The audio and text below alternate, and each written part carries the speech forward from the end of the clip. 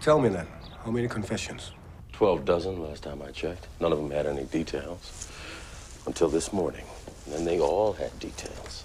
Some genius in Duluth PD took a photograph of Elise Nichols' body with his cell phone, shared it with his friends, and then Freddie Lounds posted it on tattlecrime.com. Tasteless.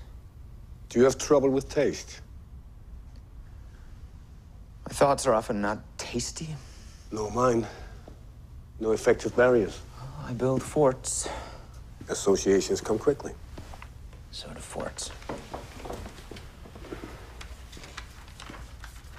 Not fond of eye contact, I am.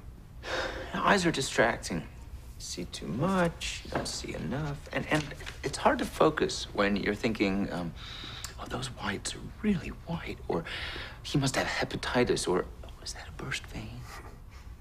So, yeah, I try to avoid eyes whenever possible. Jack? Yes.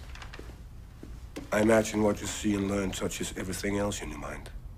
Your values and decency are present, yet shocked at your associations, appalled at your dreams. No thoughts in the bone arena of your skull for things you love.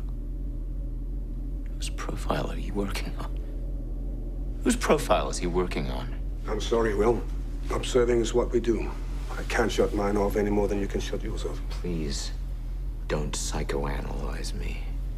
You won't like me when I'm psychoanalyzed. Will. Now, if you'll excuse me, I have to go give a lecture on psychoanalyzing. Maybe we shouldn't poke him like that, Doctor. Perhaps a less uh, direct approach. What he has is pure empathy. He can assume your point of view, or mine, and maybe some other points of view that scare him. It's an uncomfortable gift, Jack. Hmm. Perception's a tool that's pointed on both ends. This cannibal you have him getting to know. I think I can help Goodwill see his face.